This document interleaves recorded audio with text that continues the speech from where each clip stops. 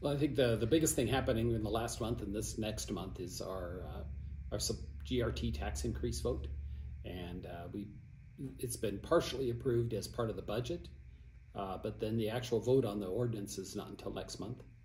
Uh, but you know, basically, the county government is kind of swimming in money. We have lots of money. We don't need any tax increases. So I would say that uh, it, it's kind of a silly vote, and, and certainly I, I, put some numbers in the paper in, in an article that uh, you published in the in the Daily Post, uh, at least online, published it online. And basic numbers are: with the tax increase, we'll have sixty-six million dollars this year, and without it, we'll have sixty million dollars, and that's left over at the end of the year.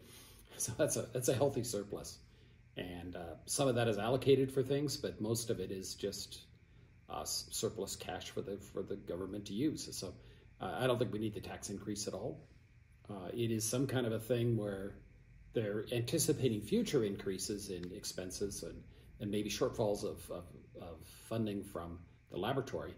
But I don't think it's actually um, something you take care of now when it's probably three years away or two years away or whatever, 2025 or 2026.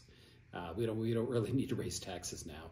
And if it ever actually comes to pass, because the lab has to do their planning, and, and uh, we don't really control what happens in Washington. So I, I think we should just wait to see how things happen.